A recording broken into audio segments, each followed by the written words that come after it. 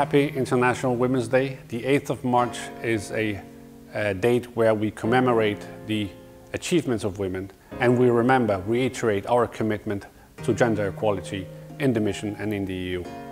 From the mission perspective, from an EU perspective, the issues of gender equality, gender mainstreaming, gender parity are essential to our work.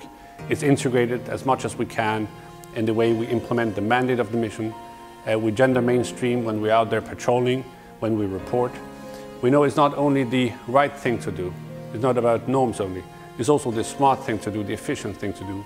Our products, our work becomes so much more efficient when we integrate a gender perspective and we make sure that the women in the mission have the chance to use all their abilities, their skills, to improve the way we're doing things.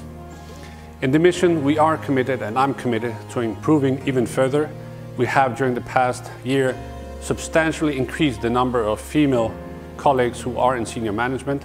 There's more to be done, uh, and we'll remain committed not only on the 8th of March, but all the 365 days of the year.